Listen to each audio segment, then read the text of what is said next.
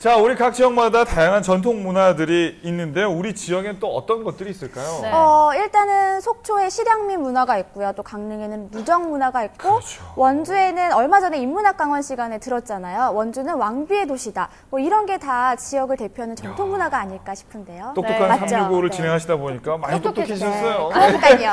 각 지역에 내려오는 이런 전통 문화 우리가 좀 더 관심 있게 좀 지켜보고 좀 우리가 좀잘 음. 보존해야 되지 않을까 하는 생각이 듭니다. 맞아요. 그래서 청소년을 대상으로 우리 문화에 대해서 배우는 즐거운 시간이 마련됐다고 하거든요. 지금부터 화면으로 만나보시죠. 부리부리한 두 눈과 길고 거친 갈기 그리고 커다란 입을 가진 주인공은 바로 백수의 왕 사자. 기묘하고 역동적인 사자의 몸짓에 푹 빠진 친구들이 있다. 속초 지역의 대표적인 문화 콘텐츠 북청 사자 노름을 배우면서 뜻깊은 여름 방학을 보내는 현장으로 지금 함께 떠나보자.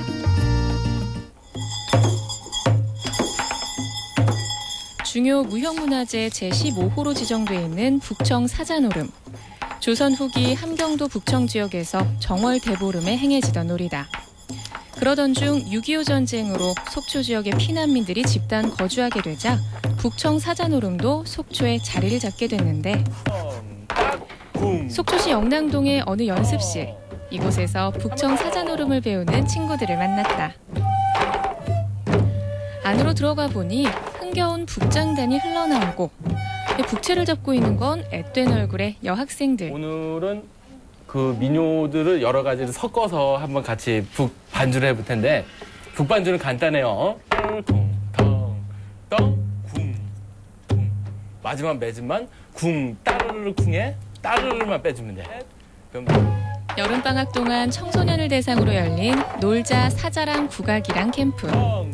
북청 사자 스토리텔링과 사자춤 배우기, 악기 배우기, 사자탈 만들기 등 닷새 동안 북청 사자 노름의 모든 것을 접하고 즐기는 시간이다. 속초는 그 청호동에 아바이 마을이라는 곳이 있는데요. 지금 젊은 학생들이 솔직히 그 아바이 마을이 어떤 역사적 배경을 갖고 있는지 그리고 어떤 문화를 가지고 있는지 마- 모르는 학생들이 굉장히 많이 있어요. 그곳의 문화 중에 하나인 북청사자 놀이를 이 계기를 통해서 학생들한테 조금이라도 알려지고 그래서 이런 프로그램을 통해서 아이들이 조금이나마 더 많이 알고 그다음에, 더 나아가서는 학생들이 참여하는 것들이 어, 문화 문화 문화의 전승까지 이어졌으면 하는 바람으로 저희가 프로그램을 진행하게 됐습니다. 이번엔 뭘 하고 있는 걸까? 신문지를 찍고 또 찍고 종이를 이용해서 사자탈을 만들어 보는 시간이다.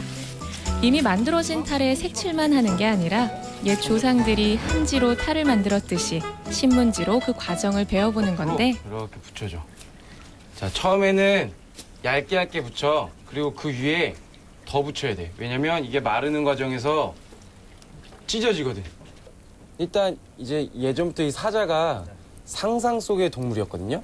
그러면서 이제 그 현대에서는 이제 아프리카에서 있는 사자를 사자로 했는데 예전에는 그게 상상 속의 동물이어서 각자 생각하는 생각하고 있는 사자의 모습이 어떨까라고 해서 이제 창의적 프로그램으로 하고 있거든요. 친구들이 만드는 탈은 어떤 모습일까? 취향에 따라서 모양도 각양각색.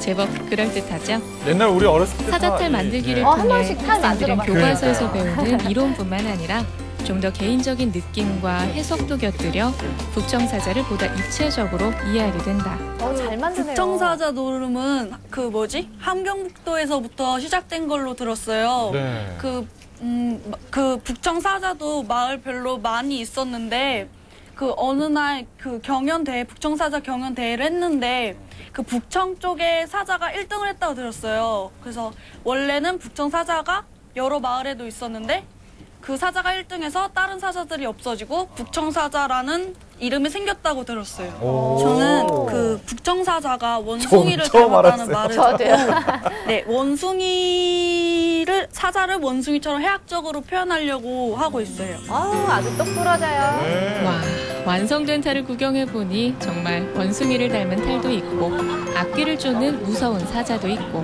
개성 만점 멋진 사자 탈이 만들어진 것 같네요.